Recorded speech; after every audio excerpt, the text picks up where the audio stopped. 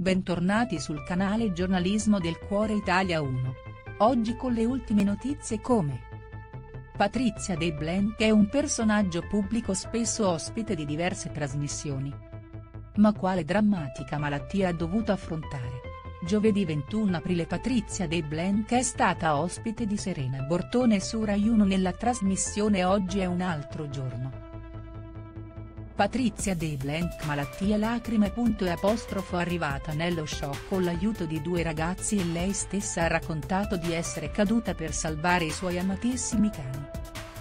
Ma quale malattia ha avuto? Patrizia De Blanc e la confessione sulla malattia. Patrizia De Blanc è un volto conosciuto del mondo dello spettacolo nostrano. Nel 2002 è stata ospite fissa nella trasmissione, Chiambretti c'è. Tre anni dopo, invece, è stata tra i concorrenti del reality, Il ristorante. Nel 2008 si è distinta come naufraga all'Isola dei Famosi dove è riuscita a raggiungere la semifinale. È anche una scrittrice autrice della sua autobiografia letto col diavolo. Due anni fa ha deciso di partecipare al Grande Fratello VIP per compiere un esperimento sociologico lì ha colpito gli spettatori grazie alla sua spontaneità, alla fine però è stata eliminata nella ventunesima puntata. Ultimamente è apparsa a Avanti un altro. Pure di sera in qualità di concorrente, mentre qualche giorno fa è stata ospite di Serena Bortone. In questa occasione ha raccontato come sua figlia Giada le abbia salvato la vita già in tre occasioni. Ma quando ha rischiato la vita, Ecco cosa è successo. Salva per un soffio.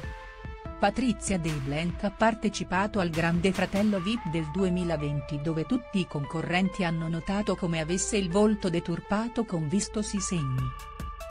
In seguito, durante un'ospitata a pomeriggio 5 aveva spiegato che cosa le era accaduto.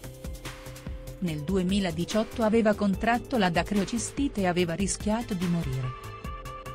Questa è un'infezione del sacco lacrimale e comporta l'ostruzione del dotto lacrimale. L'ex Jeffina aveva dichiarato che l'estate prima aveva pianto molto per la morte del suo cane le lacrime hanno fatto infezione, lei però ha asserito di non andare mai dal medico e così, trascurando la cosa la malattia è peggiorata.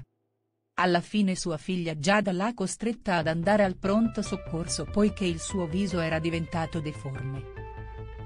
Il medico che l'ha visitata le ha detto che se avesse trascorso un'altra notte così sarebbe morta per una meningite fulminante.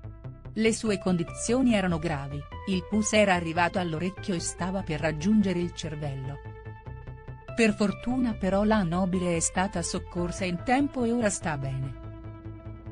Grazie per aver guardato l'intero video. Metti mi piace e commenta la tua opinione in modo che possiamo discutere.